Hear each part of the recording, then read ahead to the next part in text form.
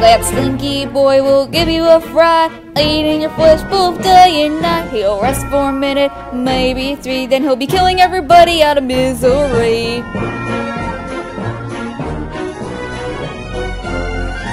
He don't care about nada, no zilch, no nothing, except thinking about some world destruction.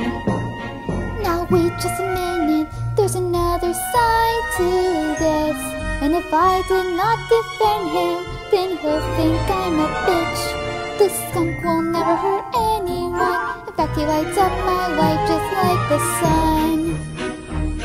Oh, give me a break, you're being too kind. This creature has a one-track mind. I heard that he got on the New York Times. But do you ever think he got away with these crimes? No, he can't. And that is just a fact. The skunkies simply don't know how to act. That's where I have to disagree. He may be scary, but he's very sweet. Would never watch someone die. You see him coming, you better run and hide. He's big and ugly and mean as sin. Would you look at the state our country is in? But look,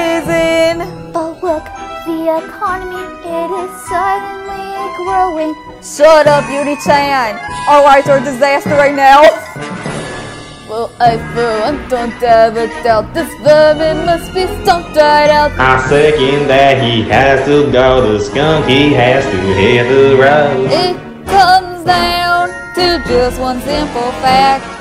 He crossed the line, it's time to fight him. Stop the skunk, stop the skunk. Make him go and not come back. Stop the skunk, stop the skunk. Make him go and not come back. Stop the skunk, stop the skunk. Make him go and not come back. Yeah, it comes down to just one simple fact.